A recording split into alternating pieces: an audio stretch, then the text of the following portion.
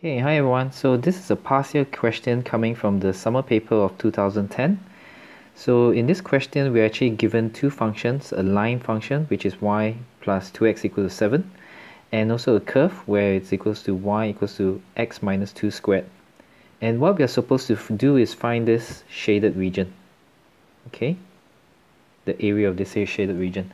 So we can do that by actually uh, using integrals. So first we actually find the area that is bounded by the x-axis by the line graph and then minus it off with the area bounded by the curve. But before that, what we need to do is actually to find the coordinates of x for point A and B. And we can do that by equating uh, the two equations. Let me rearrange this equation to y equals to negative 2x plus 7 okay and what we do is we equate them together. So we get negative 2x plus 7 equals to x minus 2 squared. So we actually have negative 2x plus 7 equals to x squared minus 4x plus 4 and we actually get x squared minus 2x minus 3 equals to 0 and we should be able to find the roots which is going to be x minus 3 x plus 1 equals to 0 therefore we actually get one root value which is x equals to negative 1 and x equals to 3 okay so now for us to find the area of the shaded region what we need to find do is area. Let me write it as shaded.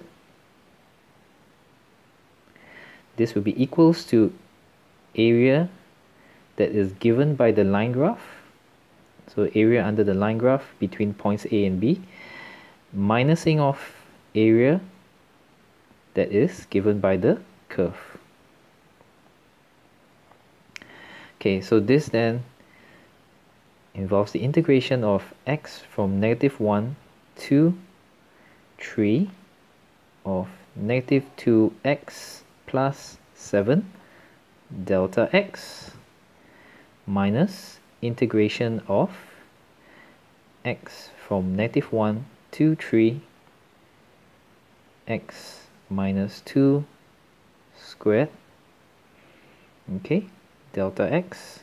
And you can see since the range are the same for both of them x from negative 1 to 3 uh, from both for both of these integrals I can actually use the rule where I can actually sum up the functions in within it and as we have done from our equating the uh, equations we know that this when I actually minus off with the other side this will be equals to x to the power sorry x integrating from 1 to 3 of the function of negative x squared plus 2x plus 3 delta x. And this gives us negative x cubed over 3 plus 2x squared over 2 plus 3x and we substitute the values of negative 1 and 3 to find the area. So if you calculate correctly, this should give us 10 2 over 3 units.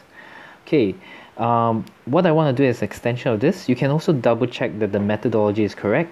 I would like to calculate the area bounded by the line with the x-axis separately from the area bounded by the curve with the x-axis.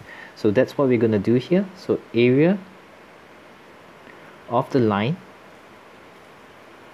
So this is equals to integral of x equals to negative 1 to 3 negative 2x plus 7 delta x and this would give us negative 2x squared over 2 plus 7x okay and you calculate it from negative 1 to 3 and this should give you a value of 20 so while the area of the curve this will be integral of x from negative 1 to 3 x minus 2 squared delta x this is if you expand it so this will be integral of negative 1 to 3 x squared minus 4x plus 4 delta x. And this will give you x cubed over 3 minus 4x squared over 2 plus 4x and you calculate from negative 1 to 3 and this should give you a value of 9 1 third. So if you were to uh, minus off the area that is bounded by the line uh, with the area that is bounded by the curve you would see that you actually get the same value as 10 2 over 3